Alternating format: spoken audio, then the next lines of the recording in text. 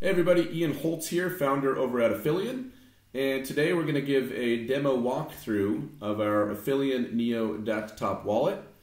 Uh, our wallet is available for release uh, next week on Friday, April 20th, uh, and we'll leave a, uh, a link to our website uh, where that'll be available for you guys. Uh, so let's go ahead and get started by clicking the Aphelion icon down here in the tray. I'm running a, a Windows version. Uh, for uh, the release, we will have uh, a Windows, Mac, and, uh, and, and, a Linux build. All right, so you'll notice the, the wallet fired right up. Um, not sure if you can see this, but we're running version 0.0.5. And in full disclosure, this is not the version uh, that we'll be releasing next week. we're still working on, on some adjustments. This is just a test version. All right, so we've got a, a login and a create wallet option. Uh, if we create wallet, you can name your wallet here. You can enter a custom passphrase. You go to create where you can get your, um, your private keys. Uh, but for this demo, we're going to use a, an existing uh, saved wallet. So we're going to log in. You can log in with a, a saved wallet, an encrypted key, or a private key. We're going to select saved wallet. We'll go ahead and select this one. You'll enter your passphrase here.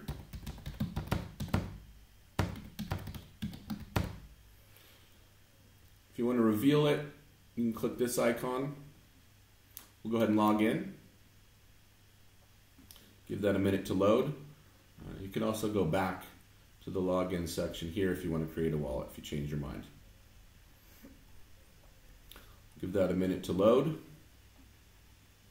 All right. So uh, this is your dashboard, and you'll notice here at the top you've got your 24-hour uh, portfolio data. You've got your send and receive, uh, and this top nav will actually follow you um, throughout the UI. We're going to go ahead and click receive. You'll see a QR code, uh, the wallet address, and you can click this icon to copy it. Select done there let's just go through this. So de defaults to uh, Aphelion. Uh, right now, there's no token data because we're not trading, obviously. Um, and let's go ahead and uh, change that. Uh, down here is going to be where all your holdings are at, and I'll show you in a minute here where you can where you can add and, and remove tokens. So we, we know Neo's got trading data. Uh, so we select Neo. The token stats display up here. You can claim gas. You've got your supply, your market cap, uh, your holdings, 24 uh, hour change, uh, and then your chart data. And you can uh, adjust the views down here. It defaults to month. you can change that to day. You'll see the transitions. week, month, 90 day. Then down here in the bottom right quadrant, uh, you've got your recent transactions. You can interact with these just by selecting one, and then it'll display up above in the top right quadrant. There we go. All right, so that's pretty much it for, uh, for the dashboard. I will point out that down here in the bottom left, uh, shows we're running on mainnet, shows the block we're on, and, uh, and the sync rate, and uh, the version, and obviously you can log out. Let's jump down here to uh, assets. So this is going to be where all, all your tokens are. Uh, and for, for the initial release right out of the box, it'll be um, uh, will be avail- it'll be available for all NEP-5 tokens. So it'll it'll be integrated with all NEP-5 tokens out of the box. You'll have to add them. Um, but yeah, so it'll by default show uh, Neo, and Gas, and then you can add any other assets uh, right through here. It's real easy. I'll show you how to do that. You can add any other NEP-5 uh, token just by entering the script hash or the token symbol. So we'll just pick one here. Uh, how about Red Pulse is RPX. So we'll input RPX there. For Red Pulse, we'll click Add. You'll notice um, the success right there, and there, boom, there it is. You can also remove it.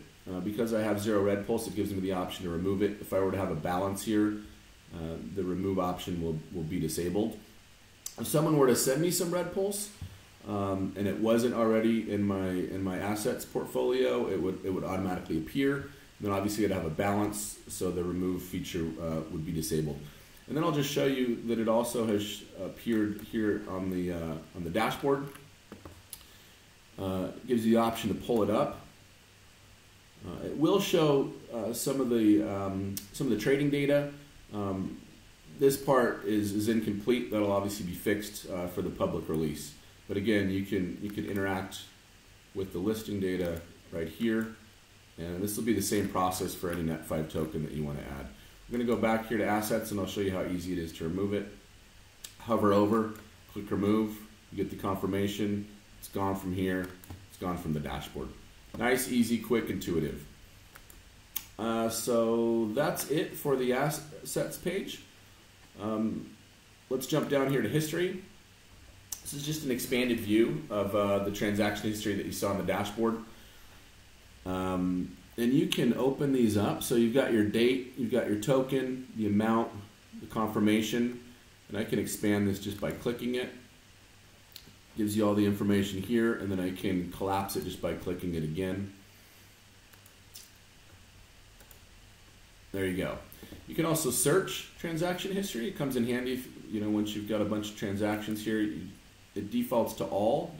It'll allow you to scroll through, but you can collect, uh, you can select, sorry, seven days, 30 days, 90 days, or you can custom it uh, through a calendar option. All right, guys, so that's it for history. Let's jump over here to settings. All right, so we've got your address book. This comes in handy if you're if you're transacting frequently with different wallets. You want to store those, uh, so you don't have to track them down. Uh, the search function works. I don't have any to search because I haven't added any yet. Uh, but let's go ahead and add one. You can add in a new uh, contact uh, or address here just by se selecting that option. We can name it. We'll name it Aphelion test address. We'll enter some digits there. We'll select add. Boom, there it is. Uh, so you can reference this. Uh, if you know it's the right one, you can select this option to, to copy it and paste it wherever you need to to make that transaction if you want to send or and then you can um, you can actually expand this just by clicking it. You can see the details here, uh, and then you can even edit. Uh, this is also going to be where you delete it. So we'll go in here to edit. You can change uh, the information here, or you can uh, you can go ahead and remove it and there it is, it's gone.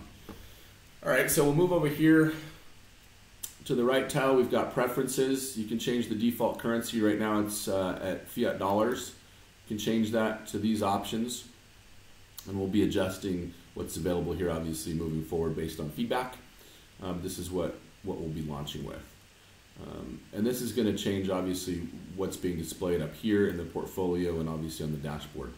Go ahead and um, collapse that. You can also toggle um, quickly between mainnet and testnet. Uh, and this is going to be where all your saved wallets are. You can you can change what wallet that you're in. You've got to enter the passphrase obviously to do that. Uh, you can even import a new wallet when you're logged into an existing wallet. You've got to know the uh, you can name it. You've got to know uh, the private key. You've got to create a passphrase. You click import, uh, and there you go. So that's it, guys. I hope you enjoyed it. Again, we'll be releasing uh, the Aphelion Neo desktop wallet a week from today on April 20th. Um, you'll be able to get it on our on our website. I'll list that web address um, down below, and uh, be sure to follow us on Telegram. Uh, we'll look forward to uh, any comments and, and feedback uh, that you have. Thanks, guys.